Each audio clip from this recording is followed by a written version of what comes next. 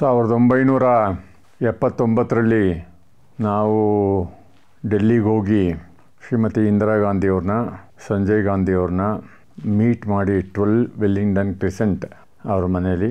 ಅದಾದಮೇಲೆ regular visitor ನಾನು. ಅಲ್ಲೇ ಸೌತ್ ಅವೆನ್ಯೂ ಒಳಗೆ ರೂಮ್ ನಮ್ಮ ಇದು twenty four South Avenue. That was the place of M V Chandrashekhar Murthy M P Kanakapura ಅವಾಗ ಅವರು. ಅವರು ನನಗೆ ಸಾವಿರದ ಒಂಬೈನೂರ ಎಪ್ಪತ್ತಾರರಲ್ಲಿ ಜೈಮಾಲಲ್ಲಿ ಆಗಿನ ಯೂತ್ ಕಾಂಗ್ರೆಸ್ ಪ್ರೆಸಿಡೆಂಟ್ ಎಂ ರಘುಪತಿಯವರು ಆಫೀಸ್ ಇತ್ತು ಜೈಮಾಲಲ್ಲಿ. ಅಲ್ಲಿಗೆ ಹೋಗ್ತಾ ಇದ್ದೆ ನಾನು. ನಾನೆಲ್ಲ ಸುಮಾರು ಜನ ಹೋಗ್ತಾ ಇದ್ವಿ. ಯೂತ್ ಕಾಂಗ್ರೆಸ್ ಅಂದರೆ ಹತ್ತಾರು ಜನ ಹೋಗೋದಕ್ಕೆ ಯೂತ್ ಕಾಂಗ್ರೆಸ್ ಅಂತ ಹೇಳೋದು. ಆವಾಗ ಎಂ ವಿ ವೆಂಕಟಪ್ಪ ಅಂತ ಎಂ ಎಲ್ ಸಿ ಅವರು ಚಂದ್ರಶೇಖರ್ ಮೂರ್ತಿಯವ್ರ ತಂದೆ, ಅವ್ರನ್ನ ಕರ್ಕೊಂಡು ಚಂದ್ರಶೇಖರ್ ಮೂರ್ತಿಯವರು ಯೂತ್ ಕಾಂಗ್ರೆಸ್ ಆಫೀಸ್ ಹತ್ರ ಕರ್ಕೊಂಬರೋರು. ಅವರು ರಘುಪತಿಯವ್ರ ಹತ್ರ ಮಾತಾಡೋಕ್ಕೆ ಹೋದಾಗ ಚಂದ್ರಶೇಖರ್ ಮೂರ್ತಿಯವರು ನಮ್ಮ ಜೊತೆ ಎಲ್ಲ ಮಾತಾಡೋರು. ಆವಾಗಲಿಂದ ನನಗೆ ಪರಿಚಯ. ಅವರು ಟೂ ತೌಸಂಡ್ ಟೂನಲ್ಲಿ ನಮ್ಮನ್ನೆಲ್ಲ ಆಗಲಿ ಹೋಗುವಂಥ ಸಮಯದವರೆಗೂ ನಾನು ಕ್ಲೋಸ್ ಆಗೇ ಇದ್ದೆ. ಅವ್ರ ಮನೇಲಿ ನಾವು ಇಳ್ಕೊಳ್ತಾ ಇದ್ದಿದ್ದು. ವಾಸ್ತವ್ಯ ನಮ್ಮ ಇರುವಿಕೆ ಅಲ್ಲೇನೆ ಅಲ್ಲಿ ವಿಜಯ ಬ್ಯಾಂಕ್ ಮ್ಯಾನೇಜರ್ ಆದಂಥ ಜಯಪ್ರಕಾಶ್ ಅಂತ, ಅವರು ಚಿಕ್ಕಮಂಗ್ಳೂರವ್ರೇ ಅವರು ಮ್ಯಾನೇಜರ್ ಇದ್ದಂಗೆ ಮನೆಗೆ.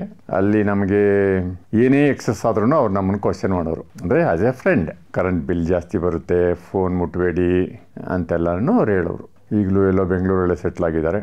ಅವರು ಚಂದ್ರಶೇಖರ್ ಮೂರ್ತಿ ಅವ್ರ ಜೊತೆ ಈಗಲೂ ಮನೆಯವ್ರ ಜೊತೆ ಈಗ ಸಂಪರ್ಕದಲ್ಲೂ ಇದ್ದಾರೆ. ನಾನು ಆದಷ್ಟು ಬೇಗ ಅವ್ರನ್ನೂ ಮೀಟ್ ಮಾಡ್ತೀನಿ. ಸುಮಾರು ದಿವಸದಿಂದ ಮೀಟ್ ಮಾಡಿಲ್ಲ ಅವ್ರನ್ನ. ಉಮಾದೇವಿ ಅಂತ ಮಿಸಸ್ ಚಂದ್ರಶೇಖರ್ ಮೂರ್ತಿ ಅವರು. ಸೆವೆಂಟಿ ನೈನಲ್ಲಿ ನಾವು ಹೋದಾಗ ನಮಗೆ ಅಲ್ಲಿ ಏನೇನು ಆಗ್ತಾ ಇದೆ ಅಂತ ತಿಳ್ಕೊಂಡ ತಕ್ಷಣನೇ ಇಮ್ಮಿಡಿಯೇಟಾಗಿ ನನ್ನ ಮೈಂಡ್ ಕೆಲಸ ಮಾಡೋದು. ನಲ್ಲಿ ವಿಜೇಂದ್ರ ರಾವ್ ಅಂತ ಶಿವಮೊಗ್ಗದವರೊಬ್ಬರನ್ನ ಮರಾಠಿಗರು ಅವ್ರನ್ನ ದೇವರಾಜ ಅರಸು ಸೆಲೆಕ್ಟ್ ಮಾಡಿಬಿಟ್ಟಿದ್ರು. ಯಾಕೆಂದರೆ ದೇವರಾಜ ದೇವರಾಜರಸ್ಗೂ ಸೋನಿಯಾ ಸಂಜಯ್ ಗಾಂಧಿ ಅವ್ರಿಗೂ ಸ್ವಲ್ಪ ಅಷ್ಟಕ್ಕಷ್ಟೇ ಇತ್ತು. ಯಾಕೆ ಅಂದರೆ ಸಂಜಯ್ ಗಾಂಧಿ ಅವರಿಂದನೇ ಸರ್ಕಾರ ಹೋಗೋದಕ್ಕೆ ಕಾರಣ ಅನ್ನೋ ಒಂದು ದುಡುಗ ಅವ್ರ ಮನಸ್ಸಲ್ಲಿತ್ತು ಅದಕ್ಕೆ ವಿಜಯೇಂದ್ರ ರಾವ್ನ ಪ್ರೆಸಿಡೆಂಟ್ ಮಾಡಿಬಿಟ್ಟಿದ್ರು. ವಿಜಯೇಂದ್ರ ರಾವ್ ಹೆಂಗಪ್ಪ ಅಂತ ಹೇಳಿದ್ರೆ ಬೇರೆ ಯಾರನ್ನೂ ಕಮಿಟಿನೇ ಮಾಡದೆ ಸತಾಯಿಸ್ಕೊಂಡಿದ್ರು. ಸೆವೆಂಟಿ ನೈನಲ್ಲಿ ಗೀತಾಂಜಲಿ ಮಕ್ಕನ್ ಅವರು ಪ್ಲೇಸಲ್ಲಿ ಕೆ ಕೆ ಶರ್ಮಾ ಅವರು ನಾಮಿನೇಟ್ ಆದಮೇಲೆ ನನ್ನ ಫ್ರೆಂಡು ಭಗವತ್ ಲೋಹಿಯಾ ಅಲ್ಲೇ ಇದ್ದರು ಕೆ ಕೆ ಕೃಷ್ಣಮೂರ್ತಿ ಹುಡ್ಡ ಅಂತ ಹರಿಯಾಣದ ಫಾರ್ಮರ್ ಚೀಫ್ ಮಿನಿಸ್ಟ್ರು ಅವರೆಲ್ಲ ನನಗೆ ಅಲ್ಲಿ ಯಾವಾಗಲೂ ಸಿಗೋರು. ಎನ್ ಎಸ್ ಓನಲ್ಲಿ ಇ ಅಶ್ವಥ್ ನಾರಾಯಣ್ ಅಂತ, ಇಲ್ಲೇ ಕೋಣನಕುಂಟೆ ಸೈಡ್ ಅವರು ಅವರು ತುಂಬ ಪವರ್ಫುಲ್ ಆಗಿದ್ದರು ತುಂಬ ಜಾಸ್ತಿ ಬೆಳಿಬೇಕಾಗಿತ್ತು. ಏನೋ ಕಾರಣಾಂತರಗಳಿಂದ ಅದಕ್ಕೆ ಬ್ರೇಕ್ ಆಗೋಯ್ತು. ಅವ್ರನ್ನ ಜನರಲ್ ಸೆಕ್ರೆಟರಿ ಮಾಡಿಸಿ ನಾಗಭೂಷಣ ಆರಾಧ್ಯ ಅಂತ ನನ್ನ ಫ್ರೆಂಡ್ನ ವೈಸ್ ಪ್ರೆಸಿಡೆಂಟ್ನ ಮಾಡಿಕೊಂಡು ತಗೊಂಬಂದೆ. ಅವರಿಬ್ಬರನ್ನು ಮಾಡಿಸ್ಕೊಂಬಂದಿನ ಜೊತೆಗೆ, ಇನ್ನ ಕೆಲವ್ರದ್ದು ಮಾಡಿದ್ದೀನಿ ಅವ್ರ ಉಪಕಾರ ಸ್ಮರಣೆ ಮಾಡಲೇಬಾರದು ಅಂತ ಇರುವಂತ ಜನ. ಅವ್ರ ಬಗ್ಗೆ ಹೇಳ್ಕೊಂಡು ಹೋಗ್ತಾ ಇದ್ರೆ ಬೇಜಾರು, ನನಗೇ ಬೇಜಾರಾಗುತ್ತೆ. ಇಟ್ ಈಸ್ ನಾಟ್ ಫೇರ್ ಯಾಕಂದರೆ ನಾವು ಯಾರಾದರೂ ಸಹಾಯ ಮಾಡಿದ್ರೆ ನಾನಂತೂ ಮುಪ್ಪಿನವ್ರಿಗೂ ನೆನಿತೀನಿ ನೆನೆದಿದ್ದೀನಿ ಅದಕ್ಕೆಲ್ಲ ಬೇಕಾದಷ್ಟು ಸಾಕ್ಷಿ ಆಧಾರಗಳಿದ್ದಾವೆ ಕೆಲವರು ಯಾರು ಸಹಾಯ ಮಾಡ್ತಾರೋ ಅವ್ರನ್ನ ಮಾತ್ರ ತುಳಿಯೋದೇ ಅವ್ರಿಗೆ ಉದ್ಯೋಗ ಆಗಿರ್ತದೆ. ಅವರು ಅದೇ ಮಾಡ್ಕೊಂಡಿರಲಿ. ಅವ್ರಿಗೂ ಯಾವಾಗಾದರೂ ವಾಮನ ಅವತಾರದಲ್ಲಿ ಬಂದು ಅವ್ರ ತಲೆ ಮೇಲೆ ಯಾರಾದರೂ ಇಟ್ಟಾಗ ಅವ್ರಿಗೆ ಗೊತ್ತಾಗುತ್ತೆ. ನನಗೆ ಸೆವೆಂಟಿ ನೈನಲ್ಲಿ ಸಂಜಯ್ ಗಾಂಧಿಯವರು ಪರಿಸ್ಥಿತಿ ಹೆಂಗಪ್ಪ ಅಂದರೆ ಯಾರು ಉಪಕಾರ ಸ್ಮರಣೆ ಮಾಡಲ್ವೋ, ಅವ್ರಿಗೆ ಫ್ಲೈಟ್ ಟಿಕೆಟ್ ಮಾಡಿಸಿ ಫ್ಲೈಟ್ ಟಿಕೆಟ್ ಅಂದರೆ ಗುಂಡ್ರಾವು ಎ ಸಿ ಸಿ ಸೆಷನ್ಗೆ ಹೋಗಬೇಕಾಗಿತ್ತು ಏಪ್ರಿಲ್ ಇಪ್ಪತ್ತಾರನೇ ತಾರೀಕು. ಅವರು ಉಪಕಾರ ಸ್ಮರಣೆ ಇಲ್ದಿರೋರಿಗೆ ಜಾಂಡಿಸ್ ಬಂದಿತ್ತು. ಅವರು ರೆಸ್ಟಲ್ಲಿ ಇರಬೇಕು. ಅದು ನನಗೂ ಪ್ರ, ಪ್ರಜ್ಞೆ ಇದ್ದಿದ್ದರಿಂದ ಗುಂಡ್ರಾವ್ಗೆ ಓಲ್ಡ್ ಏರ್ಪೋರ್ಟಿಗೆ ಬಿಡಕ್ಕೆ ಹೋದಾಗ ಗುಂಡ್ರಾವ್ ಖಾನ್ ಇಬ್ರು ಒಟ್ಟಿಗೆ ಹೋದ್ರು. ಆವಾಗ ಗುಂಡ್ರಾವ್ಗೆ ನಾನು ಹೇಳಿದೆ, ಸರ್ ಎನ್ ಎಸ್ ಇದು ಹಿಂಗ್ ಜನರಲ್ ಸೆಕ್ರೆಟರಿ ಖಾಲಿ ಇದೆ, ಸರ್. ನೀವೊಂದು ಮಾತು ಸಂಜಯ್ ಗಾಂಧಿ ಅವ್ರಿಗೆ ಹೇಳಿದ್ರೆ ಆಗೋಗುತ್ತೆ ಅಂತ. ಅದಕ್ಕೆ ಗುಂಡ್ರಾವ್ ಹೇಳಿದ್ರು great leader of Indian National Congress mister Hariprasad ji ಅವರು, ಅವ್ರಿಗೆ ಟಿಕೆಟ್ ನೀವು ಅವರು ಬಂದ್ಬಿಡಿ ಅಂತ ಹೇಳಿದ್ರು. ನಾನು ಯೋಚನೆ ಮಾಡಿದೆ, ನಾನು ಹೆಂಗೆ ಯೋಚನೆ ಮಾಡ್ತೀನಿ, ಹೆಂಗೆ ಹೆಣ್ಕರಳು ಅಂತ ಹೇಳಿದ್ರೆ, ಹರಿ ಅವರಿಗೆ ಜಾಂಡೀಸ್ ಬಂದಿದೆ. ಅದಕ್ಕೆ ಅವರು ಟೈಮ್ ಟೈಮ್ಲಿ ಫುಡ್ ತಗೋಬೇಕು, ಔಷಧಿ ತಗೋಬೇಕು.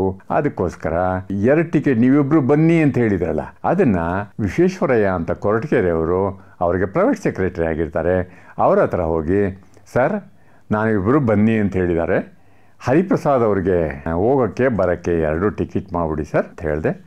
ಅವ್ರು ತಿರುಗಿ ಗುಂಡ್ರಾವ್ ಹತ್ರ ಕನ್ಫರ್ಮ್ ಮಾಡಿಕೊಂಡ್ರು, ಟಿಕೆಟ್ ಆಯಿತು, ಟಿಕೆಟ್ ಮಾಡಿಸ್ಕೊಂಡು ವುಡ್ಲ್ಯಾಂಡ್ಸ್ ಹೋಟ್ಲ್ ಹತ್ರ ಏರ್ಲೈನ್ಸ್ ಇದ್ದಿದ್ದು ಅಲ್ಲಿಂದ ತಗೊಂಡು ಟಿಕೆಟ್ ತಗೊಂಡು ಕೋದಂಡರಾಮ್ಪುರಕ್ಕೆ ಹೋದೆ. ಕೋದಂಡರಾಮ್ಪುರದಲ್ಲಿ ಸೇಟ್ ಅವರ ಅಂಗಡಿ ಮುಂದೆನೇ ನಮ್ಮ ಆಫೀಸು ಆಮೇಲೆ ಫಸ್ಟ್ ಹೋದ ತಕ್ಷಣನೇ ಹೇಳಲಿಲ್ಲ, ಏನ್ರಿ ಹಿಂಗಾಗ್ಬಿಟ್ರೆ ಹೆಂಗ್ರಿ? ಅಲ್ಲೆಲ್ಲ ನಾವು ಗ್ರೌಂಡ್ ವರ್ಕ್ ಮಾಡಿದ್ದೀವಿ ಸಂಜಯ್ ಗಾಂಧಿಯವ್ರ ಹತ್ರ. ನೀವು ಈಗ ಒಂದು ಸಾರಿ ಹೋಗ್ಬಿಟ್ಟು ಬಂದುಬಿಟ್ರೆ ರೀ ಅಂತ ಹೇಳಿದೆ. ಏನು ರೀ ಈಗ ಹೊರಡು ಅಂತ ಹೇಳಿದ್ರೆ ಹೆಂಗ್ರಿ ಆಗುತ್ತೆ? ಯಾರಿಗೆ ಕೊಡಿಸ್ತಾರೆ? ಟಿಕೆಟ್ ಯಾರು ಮಾಡಿಸ್ತಾರೆ? ಹಂಗೆ ಹೋಗೋದು ಅಂತ ಅವರು ಪ್ರೀತಿಯಿಂದ ಬೈದರು. ನಾನು ಅವಾಗ ಹೋಟೆಲ್ ಇಟ್ಕೊಳ್ತಾ ಇದ್ದೆ. ಅವಾಗಿನ ಸ್ಟೂಡೆಂಟ್ಸ್ ಎಲ್ಲ ಹಾಗೆ ಇಟ್ಕೊಳ್ತಾ ಇದ್ದಿದ್ದು. ಈಗೆಲ್ಲ ಬ್ಯಾಗ್ ಇಟ್ಕೊತಾರೆ. ಅದನ್ನ ಟಿಕೆಟ್ ತೆಗೆದು ಕೊಟ್ಟೆ. ಆದರೂ ಅವರಿಗೆ ಗಾಬರಿ. ಎಲ್ಲಿ ಏನು ಮಾಡ್ಬಿಟ್ಟಿದ್ದೀನೋ ಏನು ಸುಳ್ಳು ಅಂದರೆ ಟಿಕೆಟ್ ಹೆಂಗೆ ಬಂತು ಅಂತ. ನಾನು ಹೇಳಿದೆ, ಗುಂಡ್ರಾವ್ ಹತ್ರ ಹಿಂಗೆ ಹೇಳಿದೆ, ಗುಂಡ್ರಾವ್ ಅವರು ನೀವಿಬ್ಬರು ಬನ್ನಿ ಅಂದರು. ನಾನು ಬರೋದಿಲ್ಲ. ನನ್ನ ಟಿಕೆಟಲ್ಲಿ ನೀವು ರಿಟರ್ನ್ ಬಂದುಬಿಡಿರಂತೆ. ನಾನು ಇವತ್ತು ರಾತ್ರಿಗೆ ಹೊರಡ್ತೀನಿ. ನೀವು ಡೆಲ್ಲಿಗೆ ಹೊರಡಿ ಅಂತ. ಅದು ಅವ್ರಿಗೆ ಮನಸಲ್ಲೇ ಬರಲ್ಲ. ಆಮೇಲೆ ಅವರು ಹೋದರು ಡೆಲ್ಲಿಗೆ. ಡೆಲ್ಲಿಗೆ ಅವ್ರನ್ನ ಕಳಿಸಿ ನಾನು ಕೆ ಕೆ ಎಕ್ಸ್ಪ್ರೆಸ್ ಶುರುವಾಗಿತ್ತು. ಕೆ ಕೆ ಎಕ್ಸ್ಪ್ರೆಸ್ಸಲ್ಲಿ ಇಲ್ಲಿಂದ ರಾತ್ರಿ ಸಾಯಂಕಾಲ ಬಿಟ್ಟು ಇವತ್ತಿಲ್ಲ, ನಾಳೆ ಇಲ್ಲ, ನಾಡದ ಮಧ್ಯಾಹ್ನ ಒಂದು ಮೂರು ಗಂಟೆ, ಒಂದು ಗಂಟೆಗೆ ಡೆಲ್ಲಿ ರೈಲ್ವೆ ಸ್ಟೇಷನ್ ಸೇರಿದೆ. ಮೂರು ಗಂಟೆ ಅಷ್ಟೊತ್ತಿಗೆ twenty four Akbar twenty four South ಅವೆನ್ಯೂಗೆ ಹೋದೆ ಚಂದ್ರಶೇಖರ್ ಮೂರ್ತಿ ಅವ್ರ ಮನೆಗೆ. ಬೀಗ ಹಾಕಿತ್ತು. ಈಚೆನೆ ನಿಂತ್ಕೊಂಡು ಈಚೆ ಅಲ್ಲಿ ಮುಂದ್ಗಡೆ ಒಂದು ಟೀ ಸ್ಟಾಲ್ ಇತ್ತು. ಟೀ ಸ್ಟಾಲಲ್ಲಿ ಹೋಗಿ ಕಾಫಿ ಟೀ ಕುಡಿದ್ಬಿಟ್ಟು ಇವರೆಲ್ಲ ಯಾರಾದ್ರೂ ಬಂದಿದ್ರಾ, ಯಾರಾದ್ರು ಯಾಕಂದರೆ ನಾವು ಪಾಪ್ಯುಲರ್ ಆಗಿಬಿಟ್ಟಿದ್ವಿ. ಓಡಾಡಿ ಓಡಾಡಿ ಓಡಾಡಿ ಪಾಪ್ಯುಲರ್ ಆಗಿಬಿಟ್ಟಿದ್ವಿ. ಶೆಟ್ಟಿ ಹೋಟ್ಲಲ್ಲೂ ಪಾಪ್ಯುಲರ್ ಮೈಸೂರು ಕೇಫಲ್ಲಿ ಸೌತ್ ಅವೆನ್ಯೂ ಒಳಗೆ ಆಮೇಲೆ ಮುಂದೆ ಟೀ ಅಂಗಡಿ ಎತ್ಕೊಂಡು ಕಾ ಇದು ಯಾಕೆಂದರೆ ನಮಗೆ ಬೇರೆ ಇನ್ನೇನು ತಿನ್ನೋದಕ್ಕೆ ಮೃಷ್ಟಾನ್ನ ಭೋಜನ ಸಿಗ್ತಾ ಇರಲಿಲ್ಲ. ಹರಿಪ್ರಸಾದ್ ಸಾಹೇಬರು ವಾರಕ್ಕೆ ನಲ್ವತ್ತು ರೂಪಾಯಿ ಕಳಿಸ್ತಾ ಇದ್ರು. ನಾನು ಮೂರು ಗಂಟೆಗೆ ಅಲ್ಲಿ ಮನೆ ಹತ್ರ ಹೋಗಿ ಕಾಯ್ಕೊಂಡಿದ್ದೆ, ಎಲ್ಲೋದ್ರು ಅಂತ ಗೊತ್ತಿಲ್ಲ. ಬೀಗ ಹಾಕಿದೆ ಯಾರನ್ನು ಕೇಳಬೇಕು ಫೋನು ಪ್ಯಾನು, ಅವೆಲ್ಲ ಏನಿಲ್ಲ ಅವಾಗ. ಆಮೇಲೆ ಸಂಜಯ್ ಗಾಂಧಿ ಅವ್ರ ಮನೆಗೆ ಟ್ವೆಂಟಿ ಫೋರ್ ಟ್ವೆಲ್ ಸೆಂಡ್ಗೆ ಹೋಗೋಣ ಅಂದರೆ ಅಷ್ಟೊತ್ತಿಗೆ ಯಾರೂ ಇರಲ್ಲ ನನಗೆ ಗೊತ್ತಿತ್ತು. ಪ್ರಾಕ್ಟೀಸ್ ಆಗ್ಬಿಟ್ಟಿತ್ತಲ್ಲ, ನನಗೆ ಅದು ಗೊತ್ತಿತ್ತು. ಪದ್ಮಾ ಅವರಲ್ಲಿ ಇರ್ತಾರೆ ಅಂತ ಗೊತ್ತಿತ್ತು. ಪದ್ಮಾ ಅವ್ರಿಗೂ ನಡ್ಕೊಂಡು ಹೋಗೋಕೆ ಸೋಂಬೇರಿದ್ದಾನೆ ನನಗೆ. ಅದಕ್ಕೆ ಅಲ್ಲೇ ಇದ್ಬಿಟ್ಟೆ. ಅಷ್ಟೊತ್ತಿಗೆ ದಯಾನಂದ ರಾವು ನಿಸಾರ್ ಅಹಮದ್ ಜಿ ಆಮೇಲೆ ಹರಿಪ್ರಸಾದ್ ಜಿ ಆಮೇಲೆ ಕಮಿಟಿ ರಾಜಶೇಖರು ಎಲ್ಲ ಬಂದರು. ಎಲ್ಲರೂ ಕಂಗ್ರ್ಯಾಚುಲೇಷನ್ ಕಂಗ್ರ್ಯಾಚುಲೇಷನ್ ಹರಿಪ್ರಸಾದದ್ದು ಆಯಿತು ಅಂದರು. ಭಾರಿ ಸಂತೋಷ ಆಯಿತು ನನಗೆ. ನನಗೆ ಬೇರೆಯವ್ರಿಗೆ ಏನಾದರೂ ಆದಾಗಲೇ ನಂಗೆ ಸಂತೋಷ ಜಾಸ್ತಿ ಆಗಿದೆ. ಯಾಕೆಂದರೆ ನನಗೇನೂ ಆಗೋಕ್ಕೆ ಇವರೆಲ್ಲ ಸೇರಿ ಬಿಟ್ಟಿಲ್ಲ ನನಗೆ. ಯಾವಾಗಲೂ ಸಿಸರಿಂಗ್ ಮಾಡ್ಕೊಂಡೇ ಇರ್ತಾರೆ. ಅದು ಅವರು ಅದಕ್ಕೋಸ್ಕರನೇ ಹುಟ್ಟಿರೋದು ಅಂತ ಕಾಣ್ತದೆ. ಕೆಲವು ಸುಮಾರು ಜನ ಇದ್ದಾರೆ ಅದನ್ನ ಹೇಳ್ತೀನಿ ಆಮೇಲೆ ನಿಧಾನಕ್ಕೆ. ಸಾಯಂಕಾಲ ಏಳು ಗಂಟೆಗೆ ಮೈಸೂರು ಕೆಫ್ ಹತ್ರ ಹೋದ್ವಿ. ಆವಾಗ ಪೇಸೂರು ಕೆಫ್ ಅಂದರೆ ಊಟ ಮಾಡೋಕ್ಕೆ ಅಂತ. ಹೋದಾಗ ನೋಡ್ರಿ ನಿಮ್ಮದು ಯೂತ್ ಕಾಂಗ್ರೆಸ್ಸಲ್ಲೂ ನಿಮ್ಮ ಹೆಸರು ಇಲ್ಲ ಅಂತ ಕಾಣ್ತಿದೆ. ನೀವು ನಾಳೆ ಬೆಳಿಗ್ಗೆ ಭಾಯಿ ಸಾಬ್ ಹತ್ರ ಮೀಟ್ ಮಾಡಿಬಿಟ್ಟು ಅವ್ರ ಹತ್ರ ಮಾತಾಡಿ ನೀವು ನಿಮ್ದು ಯೂತ್ ಕಾಂಗ್ರೆಸ್ಸಲ್ಲಿ ಬರೋಂಗೆ ನೋಡ್ಕೋಬೇಕು. ನಾಳೆ ಬೆಳಿಗ್ಗೆ ಆ ಕೆಲಸ ಮಾಡಿ ಅಂತ ಹೇಳಿದ್ರು. ನಾನು ಅವಾಗ ಹೇಳಿದೆ, ನೋಡಪ್ಪ ನಮ್ಮ ಗ್ಯಾಂಗಿಂದ ಆಲ್ ಇಂಡಿಯಾ ಲೆವೆಲಲ್ಲಿ ನೀವು ಅಪಾಯಿಂಟ್ ಆಗಿದ್ದೀರಾ. ನಾನು I am satisfied from it. ನಿಮ್ಮನ್ನು ಬೆಂಗಳೂರಲ್ಲಿ ನಿಮ್ಮನ್ನು ರಿಸೀವ್ ಮಾಡೋದಕ್ಕೆ ಅದಕ್ಕೆಲ್ಲ ಮಾಡಬೇಕು. ಅದಕ್ಕೋಸ್ಕರ ನಾನು ನಾಳೆ ಬೆಳಿಗ್ಗೆನೇ ಹೊರಡ್ತೀನಿ. ಆವಾಗ ರೈಲ್ವೆ ರೈಲ್ವೆ ಟಿಕೆಟ್ ಬೇಕಾದರೆ ಶೆಟ್ಟಿಗೆ ಹೇಳ್ಬಿಟ್ಟ ಅಂದರೆ, ಶೆಟ್ಟಿ ಯಾವುದೋ ಎಂ ಪಿ ಎಸ್ ಲೆಟ್ರ್ ಗೀಟ್ರ್ ಹಾಕ್ಸ್ಕೊಂಡು ನಾಳೆ ಬೆಳಿಗ್ಗೆಗೆ ಅವಾಗ ಒಂದು ಅಷ್ಟೊಂದು ಡಿಮ್ಯಾಂಡು ಇರಲಿಲ್ಲ, ಒಂದು ಟಿಕೆಟ್ ಮಾಡಿಸ್ಕೊಟ್ಬಿಟ್ರು. ಒಂದು ಗಂಟೆಗೆ ಹೋಗಿದ್ದಂತಮ್ಮ ನಾನು, ಮೂರು ಗಂಟೆಗೆ ನಾನು ಮ, ಡೆಲ್ಲಿ ತಲುಪಿದವನು. ತಿರುಗಿ ಮಾರನೇ ದಿವಸ ಬೆಳಿಗ್ಗೆ ಏಳುವರೆ ಕೆ ಕೆ ಎಕ್ಸ್ಪ್ರೆಸ್ಗೆ ಅದೇ ಟ್ರೈನಲ್ಲಿ ನಾನು ಯಾವ ಟ್ರೈನಲ್ಲಿ ಹೋಗಿದ್ದೆ ಅದೇ ಟ್ರೈನಲ್ಲಿ ವಾಪಸ್ ಬರೋವಂಥದ್ದು ಬರೋವಾಗ ಒಬ್ಬನೇ ನಮ್ಮ ಹೊನ್ನೇಗೌಡ ಅಂತ ಯಲಂಕದವರು ನನ್ನ ಫ್ರೆಂಡೇನೆ. ಅವನು ಸ್ಟೂಡೆಂಟ್ ಲೀಡರ್ ಆಗಿದ್ದವನು. ಅವನು ಫೈಟ್ ಮಾಡ್ದ. ಆಮೇಲೆ ಬಸವಲಿಂಗಪ್ಪನವ್ರ ಜೊತೆ ಸುಮಾರು ದಿವಸ ಇದ್ದ. ಬಸವಲಿಂಗಪ್ಪನವ್ರ ಕಾನ್ಸ್ಟಿಟ್ಯೂನ್ಸಿಗೆ ಆತ ಬ್ಲ್ಯಾಕ್ ಪ್ರೆಸಿಡೆಂಟು ಆಗಿದ್ದ. ಆಮೇಲೆ ಈಗ ಮೊನ್ನೆ ರೀಸೆಂಟಾಗಿ ಎಲ್ಲೋ ಓದ್ಯಾವುದೋ ಯಾವುದೋ ಮದುವೆಯಲ್ಲಿ ಸಿಕ್ಕಿದ್ರು. ನಾನು ಮಾತಾಡಿದೆ. ಅವಾಗ ಟ್ರೈನಲ್ಲಿ ಅವನಿಗೆ ಡೌಟು ನಾನೇ ಎಲ್ಲೆಲ್ಲಿ ಮೂರ್ತಿನ ಅಲ್ವಾ ಅಂತ. ನನಗೆ ಡೌಟು ಅವನೇ ಹೊನ್ನೇಗೌಡನ ಅಲ್ವಾ ಅಂತ. ಇಬ್ಬರು ಮುಂದೆ ಮುಂದೆನೇ ಕೂತಿದ್ದೀವಿ ಇಬ್ಬರು ಒಬ್ರಿಗೊಬ್ರು ಮಾತಾಡ್ಸಿರ್ಲಿಲ್ಲ ಆಮೇಲೆ ಸೊ ಒಂದು ಸ್ವಲ್ಪ ಮೂವ್ ಆಗುವಷ್ಟರೊಳಗೆ ಗೊತ್ತಾಯಿತು ನಾವು ಅವರು ಒನ್ನೇಗೌಡ ಅಂತ ನಾನು ಅವರಿಬ್ಬರು ಮಾತಾಡ್ಕೊಂಬಂದ್ವಿ ಮಾತಾಡುವಾಗ ಅವ್ರು ಹೇಳಿದ್ರು, ನೀವು ಸೆವೆಂಟಿ ಏಯ್ಟ್ ಎಲೆಕ್ಷನಲ್ಲಿ ಕಷ್ಟಪಟ್ಟು ದುಡಿದಿರೋದ್ರಿಂದ ನಿಮಗೆ ಕೆನರಾ ಬ್ಯಾಂಕು ಅಥವಾ ವಿಜಯ ಬ್ಯಾಂಕಲ್ಲೋ ಬಸುಲಿಂಗಪ್ಪನವ್ರು ಕೆಲಸ ಕೊಡಿಸ್ಬಿಟ್ಟಿದ್ರು. ಅದು ಚಾರ್ಜ್ ತೊಗೊಳಕ್ಕೆ ಅಂತ ಅವರು ಬಂದಿದ್ದಂತೆ. ಆಮೇಲೆ ನಾನು ಹೇಳಿದೆ, ಅಲ್ಲ ಒನ್ನೇಗೌಡ್ರೆ ನೀವು ಇಷ್ಟೆಲ್ಲ ಕಷ್ಟಪಟ್ಟು ಸ್ಟೂಡೆಂಟ್ ಲೀಡ್ರಾಗಿ ನೀವು ಮತ್ತೆ ಕೆಲಸಕ್ಕೆ ಹೋಗೋದು ಅಂದರೆ ಏನು ರೀ ಅಂತ. ಅಂದರೆ ಮೂರ್ನಾಲ್ಕು ದಿವಸ, ಎರಡು ದಿವಸ ಬರಬೇಕಲ್ಲ ಕೆ ಕೆ ಎಕ್ಸ್ಪ್ರೆಸ್ಸಲ್ಲಿ ಅವಾಗೆಲ್ಲ ಡಿಸ್ಕಷನ್ನು ಇಲ್ಲ ಅವನೇಗೌಡ ನೀನು ಹಂಗೆ ಮಾಡೋಕ್ಕೆ ಹೋಗಬೇಡ. ನೀನು ಮತ್ತೆ ಬಸವಲಿಂಗಪ್ಪನವ್ರ ಹತ್ರನೇ ಹೋಗಿ. ಅಂದರೆ ಬಸವಲಿಂಗಪ್ಪನವರು ಆ ಥರ ನೇಚರ್ ಇದ್ದವರು. ಅವರು ಸಹಾಯ ಮಾಡಿದವ್ರಿಗೆ ಇಮ್ಮಿಡಿಯೇಟಾಗಿ ಏನಾದರೂ ಒಂದು ಜೀವನಕ್ಕೆ ಆಧಾರ ಆಗಬೇಕು ಅಂತ ಮಾಡಿಕೊಟ್ಟಿದ್ದು ನೀನು ಬಸವಲಿಂಗಪ್ಪನವ್ರ ಹತ್ರನೇ ಹೋಗಿ ರಿಕ್ವೆಸ್ಟ್ ಮಾಡ್ಕೊಂಡು ಬೇಕಾದ್ರೆ ನಾನು ಜೊತೆಲಿ ಬರ್ತೀನಿ. ನಾನು ಪೊಲಿಟಿಕಲಿ ಇರಬೇಕು ಅಂತ ಆಸೆ ಪಡ್ತೀನಿ ಸರ್ ನಿಮ್ಮ ಆಶೀರ್ವಾದ ನನಗಿರಬೇಕು ಅಂತ ಕೇಳಿಕೊಂಡು ನೀನು ಈ ಕೆಲಸ ಬಿಟ್ಬಿಡಪ್ಪ ಅಂತ ಹೇಳಿದೆ. ಬೆಂಗಳೂರಿಗೆ ತಲುಪಿದೆ. ಗುಂಡೂರು ಅವರವರು ಆಗ ಟ್ರಾನ್ಸ್ಪೋರ್ಟ್ ಮಿನಿಸ್ಟ್ರು ಅವ್ರ ಹತ್ರ ಹೋದೆ. ಅವ್ರ ಹತ್ರ ನಮಗೆ ಬಸ್ಸುಗಳು ಮಾಡೋದಕ್ಕೆಲ್ಲನೂ ಏರ್ಪಾಡು ಮಾಡಿಸ್ಕೊಂಡೆ. ಯಾಕೆ ಅಂದರೆ ಇಪ್ಪತ್ತ ಎಂಟಕ್ಕೇನೋ ನಾನು ವಾಪಸ್ ಬಂದಿದ್ದು. ಇಲ್ಲಿ ತಲುಪೋಷ್ಟಿಗೆ ಮೂವತ್ತಾಗಿತ್ತು. ಒಂದನೇ ತಾರೀಕು ಅಷ್ಟೊತ್ತಿಗೆ ಎಲ್ಲ ಅರೇಂಜ್ಮೆಂಟ್ ಮಾಡ್ಕೋಬೇಕಾಗಿತ್ತು. ಎಲ್ಲ ಅರೇಂಜ್ ಮಾಡ್ಕೊಂಡು ಎಲ್ಲ ಕ ಅವಾಗೇನೆ ಈಸಿ ಬಿಡಿ. ಅವಾಗ ನಾವು ಇಂತಿಂಥ ಪಾಯಿಂಟಲ್ಲಿ ಇಂತಿಂಥವ್ರಿಗೆ ಹೇಳ್ಬಿಟ್ರೆ ಇಷ್ಟು ಜನ ಗ್ಯಾರಂಟಿ ಬರ್ತಾರೆ ಅಂತ ನಮಗೆ ಗ್ಯಾರಂಟಿ ಇತ್ತು. ಅಷ್ಟು ಖಾತ್ರಿಯಾಗಿ ನಾವು ಪಕ್ಷ ಕಟ್ಕೊಂಡಿದ್ದವರು. ಎರಡನೇ ತಾರೀಕು ನಮ್ಮ all India general secretary for the first time ಆಗಿದ್ದವರು. ಅವರು ಡೆಲ್ಲಿಗೆ ಬರ್ದಂಗೆ ಅವ್ರ ಹೆಸರನ್ನ ನಾವು ಓಡಿಸಿದ್ದವರು ಅಂತವರು ನಾನೇ. ನಾನು ನಿಸಾರ್ ಅಹಮದ್ದು ದಯಾನಂದ ರಾವು ಕಮಿಟಿ ರಾಜಶೇಖರು ನಾಗಭೂಷಣ ಆರಾಧ್ಯ ಸೋಡ್ ಬಾಲಾಜಿ ಇವರೆಲ್ಲ ಸೇರಿ ಅದನ್ನು ಮಾಡಿದ್ದಿತ್ತು. ಇವ್ರು ಹೋಗಿ ಅದನ್ನು ಆರ್ಡ್ರ್ ತೊಗೊಂಬರೋಕ್ಕೆ ಬಂದಿದ್ದಿತ್ತು. ವಾಪಸ್ ಬಂದು ನಾನು ಇಲ್ಲಿ ಎಲ್ಲ ಅರೇಂಜ್ಮೆಂಟ್ ಎಲ್ಲ ಮಾಡಿ ಎರಡನೇ ತಾರೀಕು ಏರ್ಪೋರ್ಟ್ಗೆ ಹೋಗೋದು ಅಂತ ಆಯಿತು. ಏರ್ಪೋರ್ಟ್ಗೆ ಹೋಗೋ ಅಷ್ಟೊಳಗೆ ಒಂದು ಫೋನ್ ಮಾಡಿ ಕೇಳ್ಕೊಬೇಕಲ್ಲ ಯಾರನ್ನಾದ್ರು ಅಂಥೇಳಿ ನನ್ನ ಫ್ರೆಂಡ್ ಯಾರನ್ನೋ ಎನ್ ಎಸ್ ಅವರು ಫೋನ್ ಮಾಡಿ ಕೇಳಿಕೊಂಡೆ. ನೈ ನೈ, ಇದರ ಗಲಾಟ ಹೋಗ್ಯಾ ಹೇ ಆಜ್ ಫ್ಲೈಟ್ ಕ್ಯಾನ್ಸಲ್ ಹೇ, ಅಂತ ಹೇಳಿದ್ರು. ಇನ್ನು ಹರಿಪ್ರಸಾದ್ ಅವರಿಗೆ ಪಿ ಪಿ ಕಾಲ್ ಮಾಡೋಷ್ಟು ನಮಗೆ ಶಕ್ತಿನೂ ಇರಲಿಲ್ಲ. ಅವ್ರು ಸಿಗ್ತಾರೆ ಅಂತ ನಂಗೆ ನಂಬಿಕೆನೂ ಇರಲಿಲ್ಲ. ಯಾಕಂದರೆ ಅಲ್ಲಿ ಓಡಾಟ ಜಾಸ್ತಿ ಇಲ್ಲ. ಫೋನ್ಗಳು ಅಷ್ಟು ಈಸಿಯಾಗಿ ಸಿಗ್ತಾ ಇರಲಿಲ್ಲ.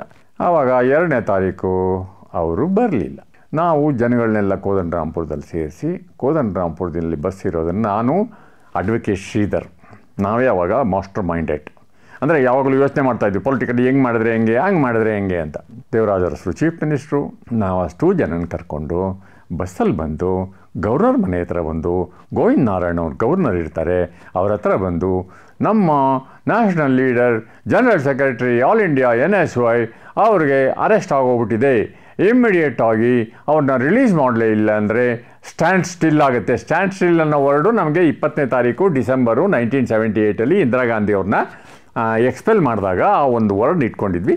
ಸ್ಟ್ಯಾಂಡ್ ಸ್ಟಿಲ್ ಮಾಡಿಬಿಡ್ತೀವಿ ಅಂತ. ಒಂದು ಮೆಮೊರಂಡಮ್ ಕೊಟ್ಟು ವಾಪಸ್ ಹೋದ್ವಿ. ಇವರು ಎರಡನೇ ತಾರೀಕು ಫ್ಲೈಟ್ ಕ್ಯಾನ್ಸಲ್ ಆಗಿದ್ದಿದ್ದು ಮೂರನೇ ತಾರೀಕಿಗೆ ಸಾಹೇಬರು ಬಂದರು. ಆಮೇಲೆ ಅದು ಬಾದಲಲ್ಲೇನೋ ಬರುವಂಥ ಪರಿಸ್ಥಿತಿ ನಮಗೇನಾಗಿತ್ತು? ಅಷ್ಟು ಬ್ರಿಸ್ಕ್ ನಾವು ಕೆಲಸ ಮಾಡಿ ಹಿಂಗಾಯ್ತಲ್ಲ ಅಂತ ಬೇಜಾರಾಗಿತ್ತು. ಆಮೇಲೆ ಈ ಫ್ಲೈಟಿಗೆ ಬರ್ತಾರೆ ಅಂತ ನಮ್ಗೆ ಇನ್ಫಾರ್ಮೇಷನ್ ಇರಲಿಲ್ಲ. ಹಾಗಾಗಿ ಅವರು ಬಾದಲ್ ಆಟೋದಲ್ಲಿ ಬರುವಂಥ ಪರಿಸ್ಥಿತಿ ಆಯಿತು. ಅದಕ್ಕೆ ಒಂದು ಸ್ಟೋರಿ, ಅವರು ಸ್ಟೋರಿ ಮಾಡೋರು ಯಾವಾಗಲೂ ಸ್ಟೋರಿ ಮಾಡ್ತಾಯಿರ್ತಾರೆ ಅವರು ಫೇಮಸ್ ಫಾರ್ ಸ್ಟೋರಿ ಮೂರ್ತಿ ಬೇಕು ಅಂತಾನೆ ಹಿಂಗೆಲ್ಲ ಮಾಡ್ತಂತ ಬೇಕು ಅಂತ ಮೂರ್ತಿ, ಹರಿಪ್ರಸ ಹರಿಪ್ರಸಾದ್ನ ಮಾಡಬೇಕು ಅಂತ ಓದೋನು ಮೂರ್ತಿ, ಇದನ್ನು ಕಟ್ ಮಾಡಿದವನು ಮೂರ್ತಿ ಅಂತ ಈಚೆ ಕಡೆ ಎಲ್ಲ ಪ್ರಚಾರ ಮಾಡಿಕೊಂಡ್ರು. ಆವಾಗಲಿಂದಾನೇ ಸ್ಮಾಲ್ ಸೀಸರಿಂಗಿಂದ ಈ ಮೀಸೆ ಕಟ್ ಮಾಡ್ತಾರಲ್ಲ, ಹಾಗೆ ಕಟ್ ಮಾಡಿಕೊಂಡೇ ಇದ್ರು. ನಾನು ಗೊತ್ತಿದ್ರು ಇರಲಿ ಬಿಡು ಇರಲಿ ಬಿಡು ಅಂದ್ಕೊಂಡಿದ್ದೆ ಅದಾಯಿತು. ಇದು ಯಾಕಪ್ಪ ಹೇಳ್ತಾ ಇದ್ದೀನಿ ಅಂದರೆ ಹರಿಪ್ರಸಾದ್ ಅವರು ಉಪಕಾರ ಸ್ಮರಣೆ, ಯಾರ್ದು ಮಾಡಬಾರ್ದು ಅಂತ ಸತ್ಯ ತಗೊಂಡಿದ್ದಾರೆ, ಸತ್ಯ ಮಾಡಿದ್ದಾರೆ. ಅದರಿಂದ ಅವರು ನನ್ನನ್ನು ನೆನೆಸ್ಕೊಳ್ಳಲ್ಲ, ಅವ್ರನ್ನ ಬೆಳೆಸಿದಂಥ ಎಫ್ ಎಂ ಖಾನ್ಗೂ ನೆನೆಸ್ಕೊಳ್ಳಲ್ಲ, ಗುಂಡ್ರಾವ್ಗೂ ನೆನೆಸ್ಕೊಳ್ಳಲ್ಲ, ಸೀತಾರಾಮ್ ಕೇಸರಿಗೂ ನೆನೆಸ್ಕೊಳ್ಳಲ್ಲ, ಪಿ ವಿ ನರಸಿಂಹರಾವ್ಗೂ ನೆನೆಸ್ಕೊಳ್ಳಲ್ಲ. ಈಗ ಯಾರು ಪವರ್ಲಿರ್ತಾರೆ ಅವ್ರ ಜೊತೆಲಿ ಮಾತ್ರ ಇರ್ತಾರೆ ಅಂತ ಹೇಳೋಕ್ಕೋಸ್ಕರ ಇದೊಂದು ಹೇಳಿದೆ ನೀನು. ಅದಾದಮೇಲೆ ನನಗೆ ಕಾಲು ಮುರಿಯಿತು ನಾನು ಜನರಲ್ ಹಾಸ್ಟ್ಲಲ್ಲಿ ಬಂದಿದ್ದಾಯಿತು. ನಮ್ಮ ಜನರಲ್ ಹಾಸ್ಟೆಲ್ ಇರೋವಾಗಲೇ ನೈನ್ಟೀನ್ ಏಯ್ಟಿ ತ್ರೀನಲ್ಲಿ ಆಲ್ ಇಂಡಿಯಾ ಜನರಲ್ ಸೆಕ್ರೆಟ್ರಿ ಅಲ್ಲಿಂದ ಡೆಲ್ಲಿಯಿಂದ ಬಂದು ಮೂರು ದಿವಸ ಆದ್ರೂ ನಾನು ಸಿಕ್ಕಿರಲಿಲ್ಲ ಅಂಥೇಳಿ ಮೂರು ದಿವಸನೂ ಕಾಯ್ಕೊಂಡಿದ್ದು. ಅವಾಗ ಇದೇ ಡಿ ಕೆ ಶಿವಕುಮಾರ್ ಅವರು, ನಾನು ಎಲ್ಲೆಲ್ಲಿ ಇರ್ತೀನಿ ಅಂತ ಡಿ ಕೆ ಶಿವಕುಮಾರ್ ಗೊತ್ತಿತ್ತು? ಅವರು ಲೆಫ್ಟು, ರೈಟು, ಹಾರ್ಟು ಎಲ್ಲ ಅವರಾಗಿದ್ದರು ಅವಾಗ. ಅವರು ಸ್ವಲ್ಪ ಹರಿಪ್ರಸಾದ್ ಅವ್ರ ಥರನೇ ಯಾರನ್ನೂ ಕಷ್ಟದಲ್ಲಿದ್ದವ್ರನ್ನ ಅವ್ರ ಕಷ್ಟದಲ್ಲಿದ್ದವ್ರ, ಅವ್ರ ಕಷ್ಟದಲ್ಲಿರೋದನ್ನು ನೆನೆಸ್ಕೊಳ್ಳಲ್ಲ ಅವರು. ನೆನೆಸ್ಕೋಬಾರ್ದು ಕೂಡ. ಯಾಕೆಂದರೆ ಸುಖ ಸುಖ, ಸುಖದಲ್ಲೇ ಮುಳುಗಿದ್ರೆ ಒಳ್ಳೆಯದು ಪ್ರದೂತ್ ಗುಹಾ ಅಂತ. All India general secretary N S Y general secretary ಬಂದಿದ್ದಾರೆ ಅಂತ ನಾನು ಎಲ್ಲೆಲ್ಲಿ ಇರ್ತೀನೋ ಎಲ್ಲ ಕಡೆಯೂ ಇನ್ಫಾರ್ಮೇಷನ್ ಕೊಟ್ಟಿದ್ದರು ನಾನು ವಾಪಸ್ ಬಂದ ತಕ್ಷಣವೇ ಅವರೇ ಬಂದು ಕರ್ಕೊಂಡು ಹೋದರು. ಚಾಳುಕ್ಯ ಹೋಟ್ಲಲ್ಲಿ ಅವ್ರದ್ದು ಲೊಕೇಶನ್ ಇತ್ತು. ಅಷ್ಟೊತ್ತಿಗೆ ಹರಿಪ್ರಸಾದ್ ಅವ್ರು ಮುಗ್ದಿತ್ತು. ಪ್ರದೂತ್ ಗುಹಾನ ಡೆಲ್ಲಿಯಿಂದ ಯಾರು ಕಳಿಸಿದ್ರೋ? ಅವರು ಎಲ್ ಎನ್ ಮೂರ್ತಿಯವ್ರನ್ನ ಮೀಟ್ ಮಾಡಿ ಅವ್ರು ಕೊಡೋ ಹೆಸರನ್ನ ತೊಗೊಂಬನ್ನಿ ಅಂತ ಡೈರೆಕ್ಷನ್ಸ್ ಕೊಟ್ಟಿದ್ರು. ಅಂತ ಕಾಣುತ್ತೆ. ನಾನು ಬಂದು, ನಾನು ಜನ ಇದಕ್ಕೆ ಚಾಲುಕ್ಯಾಗ ಹೋದೆ ಚಾಲುಕ್ಯದಲ್ಲಿ ನಾನು ಹರಿಪ್ರಸಾದ್ ಹರಿಪ್ರಸಾದ್ ಅವರು ಬಂದರು. ನಾವು ಇಬ್ಬರು ಕೂತ್ಕೊಂಡ್ವಿ, ಹಾಗೆ ಮಾತಾಡ್ತಾ ಇದ್ವಿ. ಅವರು ಪ್ರದೋದ್ ಗುಹಾ ಅವ್ರು ಹೇಳಿದರು, ಮೂರ್ತಿ ಭಾಯ್, ಮೇ ನಾನೇ ಯಾರವು ಆ ಪ್ಲೋಗ್ ಡಿಸ್ಕಸ್ ಕರ್ಕೆ ಅಂದರೆ ಇಬ್ಬರು ಮಾತಾಡಿ, ಒಂದು ಹೆಸರನ್ನ ಫೈನಲೈಸ್ ಮಾಡಿ ಅಂತ. ಅವರು ಸ್ನಾನ ಮಾಡಿ ಡ್ರೆಸ್ ಮಾಡ್ಕೊಂಡು ಬರೋ ವರ್ಷೊಳಗೆ ನಾನು ಹರಿಪ್ರಸಾದ್ ಅವರು ಹರಿಪ್ರಸಾದ್ ಹೇಳಿದ್ರು ನಮ್ಮ ಆರ್. ಮಂಜುನಾಥ್ಗೆ ಇಲ್ಲ ಬಿ. ಟಿ. ಶ್ರೀನಿವಾಸ ಮೂರ್ತಿಗೆ ಮಾಡಿಬಿಡೋಣ ಅಂತ. ನನಗೂ ಅವರೇನು ವಿರೋಧಿಗಳಲ್ಲ, ನನಗೂ ತುಂಬ ಬೇಕಾಗಿರೋರೇನೆ, ಆಯಿತು ಅಂತ ಹೇಳಿದ್ದೆ. ಅವ್ರು ಬಂದರು, ಕ್ಯಾ ಡಿಸ್ಕಷನ್ ಹೋಗ್ಯಾ, ಕ್ಯಾ ಫೈನಲೈಸ್ ಹೋಗಿ ಕ್ಯಾ? ಅಂತ ಹೇಳಿದ್ರು. ಹರಿಪ್ರಸಾದ್ ಅವರು finalise ಹೋಗ್ಯಾ B. T. Srinivasa Murthy and R. Manjunath ಅಂತ ಹೇಳಿದ್ರು. ಮೂರ್ತಿ ಬಾಯ್ ಆಪ್ಕ ಕ್ಯಾ ಕೋನ್ ಸಹಾಯ ಅಂತ ಹೇಳಿದ್ರು. ಅದನ್ನು ಸುಮ್ಮನೆ ಇದ್ದೀರಾ? ನಾನು ಸುಮ್ಮನೆ ಹಂಗೆ ಇದ್ದು ಬಿಡ್ತಿದ್ನೋ ಏನೋ ಗೊತ್ತಿಲ್ಲ. ಅವ್ರು ಯಾವಾಗ ಇನ್ನೂ ಸಾರಿ ಕೇಳಿದ್ರು. ಡಿ ಕೆ ಶಿವಕುಮಾರ್ ಹೆಸರು ಬರ್ಕೊಳ್ಳಿ ಅಂತ. ಅದಕ್ಕೆ ಡಿ ಕೆ ಶಿವಕುಮಾರು ಸಾಕ್ಷಿ, ಹರಿಪ್ರಸಾದ್ ಅವರು ಸಾಕ್ಷಿ. ಆ ಪ್ರಮೋದ್ ಗುಹಾನ್ ಅವರು ಈಗ ಅಮೆರಿಕಾದಲ್ಲಿದ್ದಾರೆ. ಅವರು ಈಗ ಬರ್ತಾ ಇದ್ದಾರೆ ಡೆಲ್ಲಿ, ಇದಕ್ಕೆ ಇಂಡಿಯಾಗೆ. ಬೇಕಾದರೆ ಅವರು ಸಾಕ್ಷಿಯಾಗಿ ಬೇಕಾದ್ರೆ ಹೇಳ್ತಿ, ಕೊಡಿಸ್, ಹೇಳಿ, ಸಾಕ್ಷಿ ಹೇಳಿಕೆ ಕೊಡಿಸ್ಬೋದು.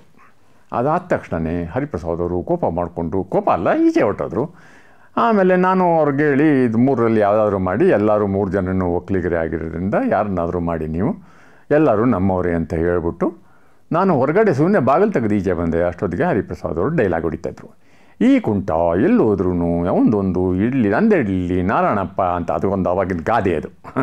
ನಂದೆಡ್ಲಿ ಇಡ್ಲಿ ನಾರಾಯಣಪ್ಪ ಅಂತೇಳಿ ಅವನದೊಂದು ಇಟ್ಬಿಟ್ಟ.